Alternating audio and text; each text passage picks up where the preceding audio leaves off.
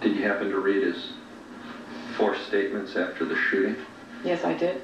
When did you do that, by the way?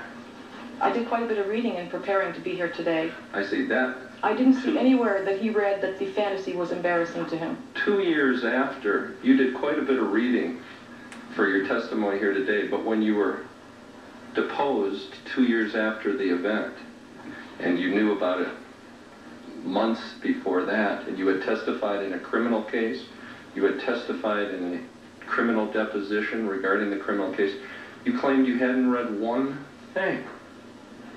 Isn't that true? Yes, that's right, I had not. As a matter of fact, the only time you even started to read about this case uh, and what had happened on your show apparently was after I took your deposition in March of 1997. Isn't that true? I think that's correct, yes. And that's because you decided to make some money off of this. Isn't that true? I'm not sure where you're going. I didn't ask. That's not your. You don't have to worry about where I'm going. Okay, then what's the question?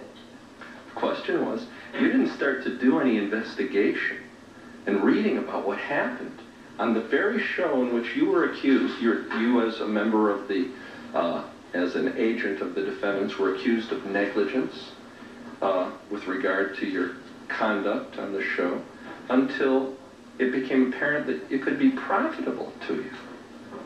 What's the question? Profitable how? Make, you would make money by doing it.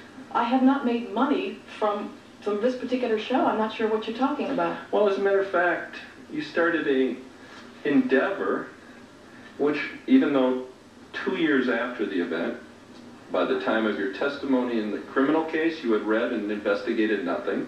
Am I correct? Yes, By the time of your deposition in the criminal case, you had read or investigated nothing, right? okay. By the time, that's right, I'm right. Yeah, okay. Uh, by the time of your deposition on March the 4th, 1997, you had read or investigated nothing.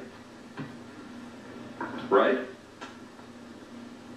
I believe so, yes, I'm not sure. Okay, now this case, this particular case was started in 1995. Did you know that? This case, yes.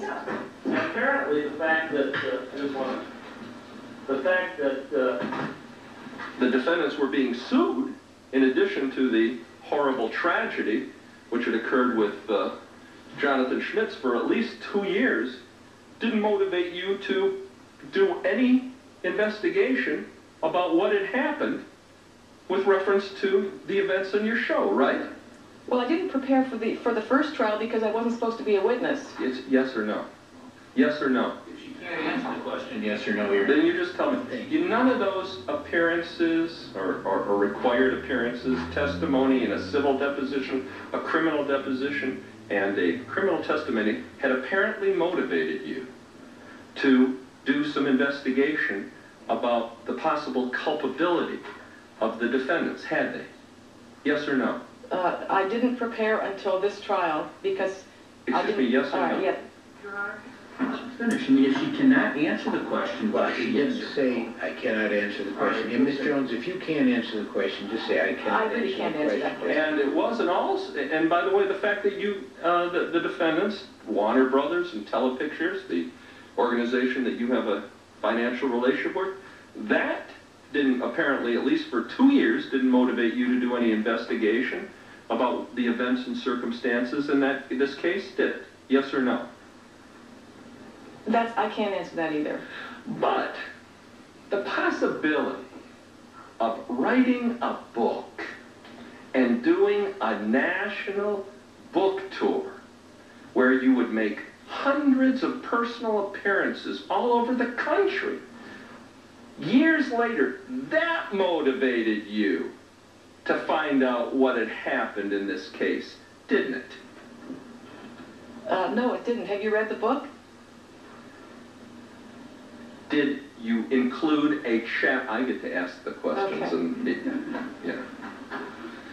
Did you include a whole chapter in the book about your investigation of the facts and circumstances in this case? Yes, I did. Now, apparently, this book must have been written after you did your deposition on March the 4th, 1997, because at that deposition, you didn't know anything, did you? Yes, I prepared for the book after the deposition. I see. So I guess the pro, despite somebody dying, suits being filed, testimony under oath, the only thing that motivated you to look at what you, or to do an investigation was the possibility that you could make personal appearances and, and capitalize off the events. Isn't that true? I don't make money on personal appearances. No, as a matter of fact, you do make money.